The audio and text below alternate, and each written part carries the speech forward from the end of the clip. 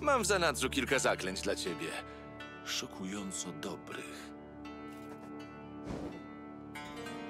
A teraz wszystkie elementy układanki wskoczą na swoje miejsce.